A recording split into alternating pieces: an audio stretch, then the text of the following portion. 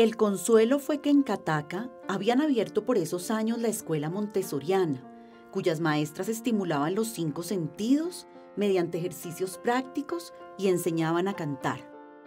Con el talento y la belleza de la directora Rosa Elena Ferguson, estudiar era algo tan maravilloso como jugar a estar vivos. Aprendí a apreciar el olfato, cuyo poder de vocaciones nostálgicas es arrasador. El paladar, que afiné hasta el punto de que he probado bebidas que saben a ventana, panes viejos que saben a baúl, infusiones que saben a misa. En teoría, es difícil entender estos placeres subjetivos, pero quienes los han vivido los comprenderán de inmediato. No creo que haya método mejor que el montessoriano para sensibilizar a los niños en las bellezas del mundo y para despertarles la curiosidad por los secretos de la vida.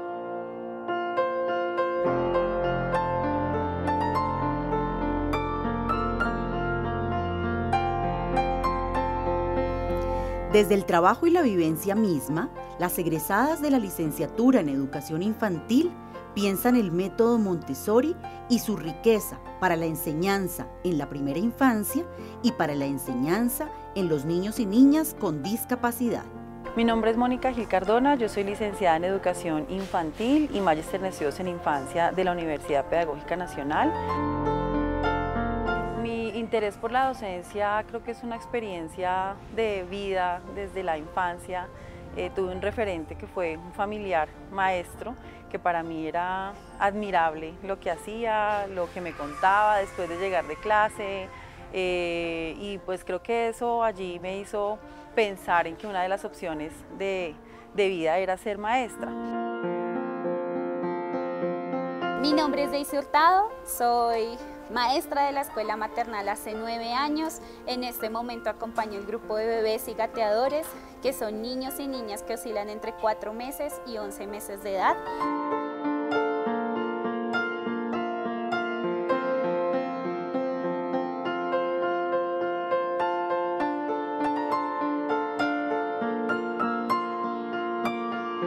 Soy Connie Cardona, soy licenciada en Educación Infantil de la Universidad Pedagógica Nacional.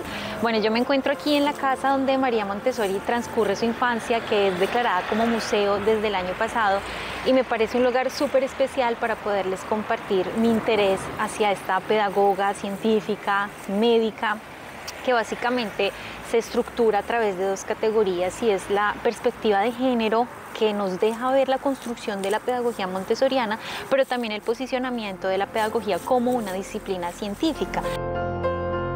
Cuando María Montessori habla de la nueva mujer en este Congreso de Londres, la nueva mujer es una mujer empoderada, es una mujer científica, una mujer que investiga, una mujer que se preocupa por los estudios científicos y que cultiva sus propios intereses, ¿no?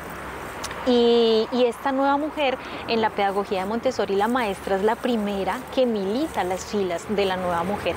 Y a mí me encanta eh, y me siento muy identificada con este, eh, esta idea de mujer eh, nueva maestra que nos, que nos comparte Montessori, porque dice ella que abandona el proletariado intelectual para poder extender su rol materno y ejercer una maternidad que será también una maternidad social. Digamos que dentro de, la propuesta, dentro de lo que propone María Montessori, tiene que ver con ese acercamiento a lo que es cotidiano para ellos, a lo que hace parte de, lo que ven constantemente en sus casas o en los distintos escenarios y hablamos entonces de esa exploración que ellos empiezan a hacer de esos objetos. Pensar en un lugar inspirado en la filosofía de María Montessori es pensar en un espacio adecuado, eh, organizado, estructurado para que el niño pueda decidir, para que el niño pueda eh, descubrir qué puede hacer solo, confiar en él, un lugar en donde el adulto confía en esas capacidades que tiene cada uno de ellos y ellas para comunicarse, para descubrir el mundo que le rodea. Pensar en un espacio así también implica un maestro que conoce eh, de desarrollo infantil, de desarrollo humano, pero también un maestro que ha construido un saber importante y dialoga con la ciencia y la pedagogía. La forma de trabajar con los bebés es brindarles espacios, brindarles elementos que cada uno de ellos pueda explorar por sí mismo. No soy yo quien todo el tiempo les está diciendo para qué funcionan, cómo funcionan los objetos, para qué sirven, sino que ellos están en el descubrimiento y en la búsqueda de todo lo que se está dispuesto en el espacio.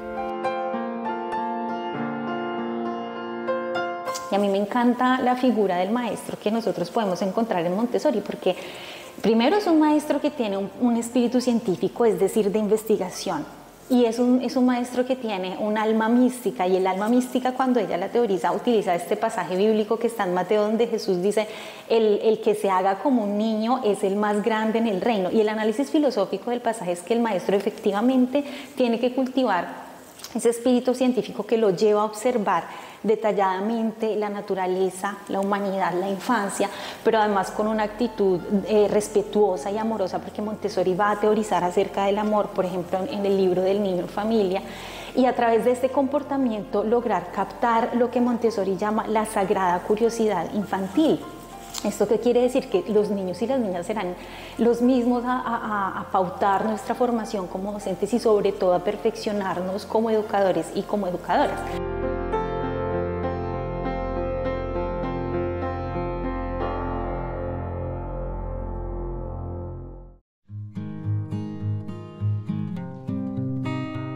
Los diferentes programas de la Universidad Pedagógica Nacional estudian los principios filosóficos y pedagógicos en el método de María Montessori y aportan reflexiones y discusiones que contribuyen en la formación de los educadores. Veníamos diciendo eh, de la relevancia de María Montessori en la educación infantil. La Universidad Pedagógica Nacional, con la trayectoria que tiene, como al ser una de las instituciones referentes en la formación de maestros y de manera particular, para el caso que nos ocupa de licenciados en educación infantil, no es ajena a los desarrollos históricos, pedagógicos de esta gran e importante mujer, ni tampoco a las lecturas actualizadas de su propuesta. Podría asumirse como un asunto paradójico, pero en, María Montessori no hay una concepción espontaneísta del desarrollo infantil, ni la libertad en abandono al trabajo de un adulto. Por el contrario, está muy presente, pero desde una perspectiva distinta, ¿no? Casi que el maestro Montessori observa desde atrás. Una vez ha diseñado y ha dispuesto todo un ambiente para la plenitud y la libertad del niño.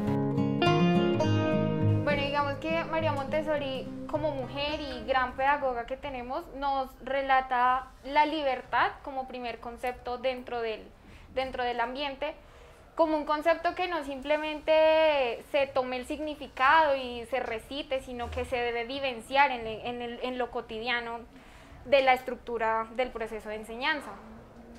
Digamos que esto lo propone con el fin de que el ambiente que debe invitar, debe provocar, que no debe ser neutral, que debe acoger al niño, eh, hace que esa, esa libertad se vuelva en una autonomía del niño para interactuar con los objetos, para um, llegar a buscar como su, propia, um, su propio aprendizaje y, ser él el protagonista dentro de este proceso. Es brindarle un espacio donde él se sienta libre, pero realmente no es una libertad abandonada, no es una libertad de, de, que haga lo que le parezca, sino que va como encaminado. Y el profesor siempre es un, un observador activo dentro de, de este proceso. Hoy en la actualidad, eh, muchos de los métodos que nos propone María Montessori eh, están latentes. Y más ahorita pienso que entrando a esta nueva normalidad en la presencialidad, después de una pandemia de dos años que nuestros niños estuvieron en casa, que no tuvieron como esa experiencia de estar con el otro, de vivir con el entorno, era una de las cosas que ella nos decía y era que el niño aprendía en la interacción con el entorno para hablar de Montessori en la actualidad y todavía ver la importancia y la, y, to, y la, y la, bueno, la, importancia que tiene actualmente, todavía es eh, que el licenciado en educación infantil de la pedagógica debe estar en la capacidad no solo de estructurar ambientes, como ya lo hemos venido mencionando, sino también de leer el contexto y hacerse sensible a, a esas realidades contextuales. Con lo que viene diciendo mi compañera Carolina, hay un apartado en la lectura que decía Montessori, dejemos que el niño viva libre para desarrollar todas sus facultades. Dejémosle crear su propio mundo. Con esto ella nos da la bienvenida a nosotras como docentes en formación de que nos convirtamos en un docente que esté detrás del niño observándole. María Montessori construyó su método pues a punta de experiencia, de observación, de análisis. Eh, ahí mismo en el texto decía que ella a veces ni dormía, se la pasaba todo el tiempo como escribiendo, estudiando, observando a los niños. Entonces eso pues me parece como muy importante de, María Montessori y pues del hecho de que todo su, su, trabajo se llame científico porque es así, es una ciencia, ella lo pone en, práctica, lo planea, eh, hace críticas sobre lo que ella también construye.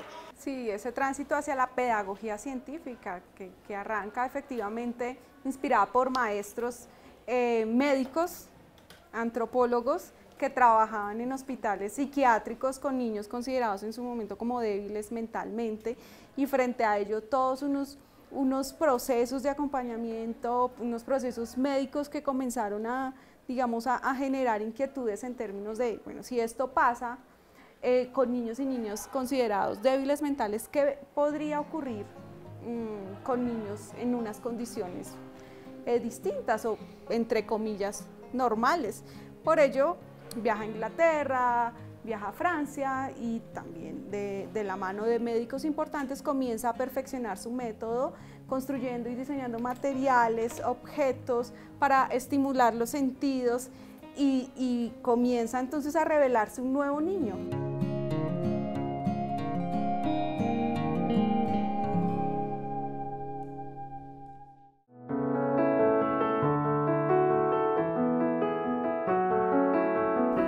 Montessori se constituye en un referente hoy para hablar de género.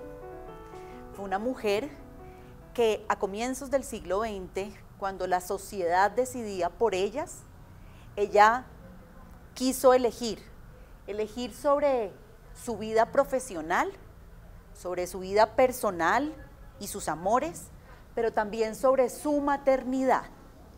Cuándo y cómo quería ser mamá, ¿Qué quería estudiar? Se doctoró en medicina, una carrera eminentemente masculina y luego de ejercer por un tiempo su profesión, quiso dedicarse a la pedagogía. Fue filósofa y ello le permitió tener un panorama amplio y construir un método pedagógico que le posibilitó eh, ser un ícono de la pedagogía en Latinoamérica, en Europa y en el mundo entero. Inicialmente, ¿cómo empezó ella? Y esto quiero rescatarlo puntualmente. Ella empieza desde todo su, su, interés médico clínico a trabajar con personas con discapacidad intelectual. Ella arranca por ahí y empieza a darse cuenta que eh, todas las personas, indistintamente de raza, género, condiciones, tienen un patrón de aprendizaje interno que potencia y que favorece el desarrollo. ¿Cuál es el papel del maestro? Descubrir, leer, identificar ese patrón interno de aprendizaje y es ahí donde ella inicialmente, a partir de todo lo que hizo con discapacidad intelectual en esa época denominada retardo mental, se da cuenta que el problema de ellos no es de su condición, sino pedagógico. Es un problema pedagógico, es un, problema de enseñanza, es un problema de generar condiciones que permitan a todos los estudiantes, en este caso pues los niños, la infancia, que es donde, donde se enfoca el método, eh, a desarrollar sus habilidades y creo que ese es el principio fundamental que posteriormente se viene a convertir en la educación para todos, educación inclusiva,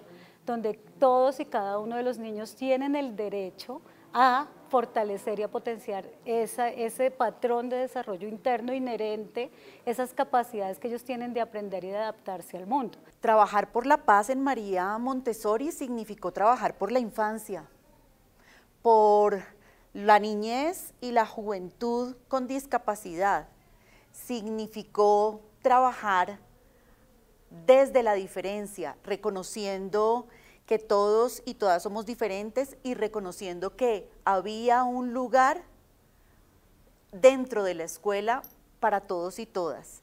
no se parte del déficit, no se parte de lo que no hay, de lo que no se tiene, sino de las habilidades y de las capacidades, partir de que cada niño o niña tiene un potencial, un patrón interno de desarrollo y que el ambiente y el medio es el que tiene que potenciarlo y es el que tiene que generar las condiciones para potenciar ese desarrollo. E, ella, para ella era muy importante organizar los espacios, por eso si uno va al Instituto Pedagógico Nacional se, se da cuenta de los rincones, una de las estrategias más importantes de María Montessori, el trabajo por rincones, que no todos los niños estuvieran haciendo lo mismo al mismo tiempo, sino que cada niño estuviera, pudiese elegir lo que ella hizo. Como mujer, quería que lo hiciera la infancia. Entonces, nosotros lo que tomamos básicamente y por lo que traemos actualmente el método es por eso, cómo desde eso que parece diferente me genera a mí como profesor externo descubrir un patrón nuevo, diferente de aprendizaje, poderlo llevar desde sus intereses, me vuelvo yo en el descubridor, ¿cierto? En el observador, en el que si hay un patrón natural allí yo tengo que descifrarlo y cómo desde allí genero una didáctica que beneficie a todos. Hablar de María Montessori significa entender el momento histórico. Es una mujer hija de un momento histórico particular, en donde se ubica una determinada concepción de infancia, de sociedad y de maestro. El método de María Montessori no se puede pensar ni estudiar por fuera de lo histórico que configuró la constitución de esta gran mujer y pedagoga.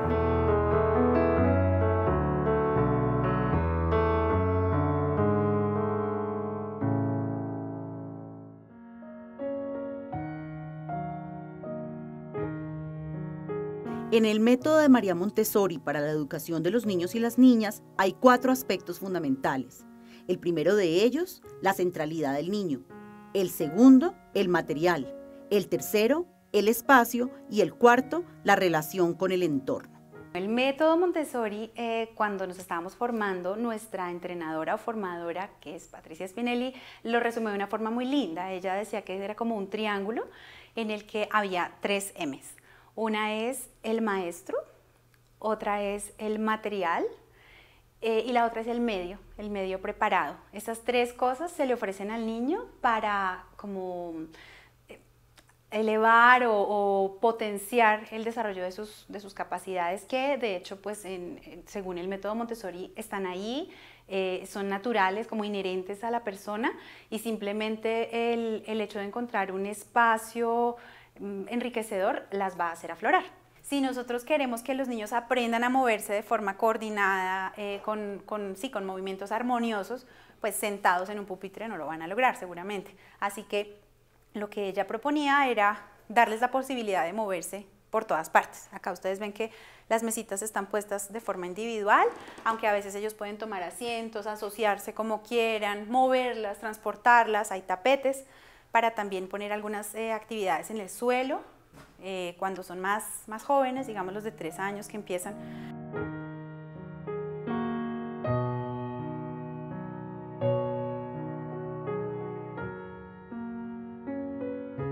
Bueno, hemos hablado sobre el método, los materiales, ¿no? el medio, pero, pero falta como el maestro. La idea es que seamos más observadores, como agentes que, que observan en lugar de los que hacen. No somos directores, somos más observadores. Estamos aquí para garantizar que el medio le hable al niño, que pueda eh, entablar una relación con los materiales, pero nosotros eh, no somos quienes le, lo formamos y lo educamos todo el tiempo, ¿sí? sino que estamos como acompañando. Entonces, eh, precisamente por eso debemos estar como velando porque las cosas estén ordenadas, porque estén en buen estado, eh, por, por, esa misma belleza, ¿no? Que, que sea, que, que, que, le hable al niño el material.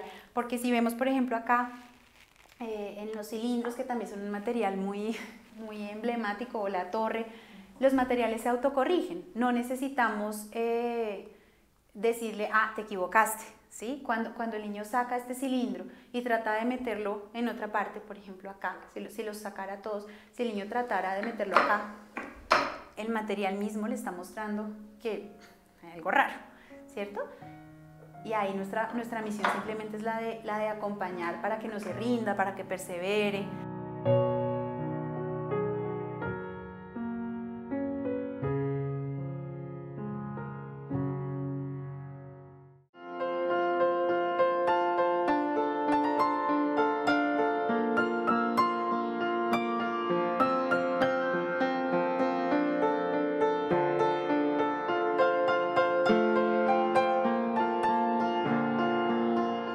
Siguiente. Tenemos la historia de un método, ¿cierto? Ella empieza a ubicar varias críticas sobre cómo funciona la escuela y empieza a experimentar, como lo pudimos ubicar en clases anteriores, con disposiciones de materiales, de mobiliario, pero también con tres conceptos centrales que intenta profundizar en una propuesta. Autonomía, disciplina e independencia tres elementos que me gustaría que ubicaran en su experiencia de práctica el día de hoy.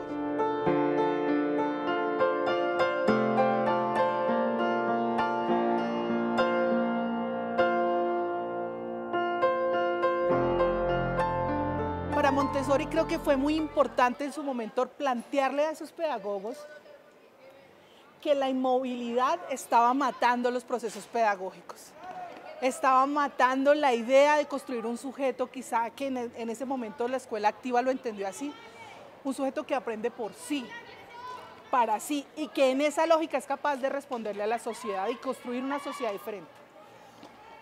Una escuela que mantiene al sujeto en represión, en encerramiento, en silenciamiento e inmovilidad, pues obtiene eso, un sujeto que no podría llamarse ciudadano.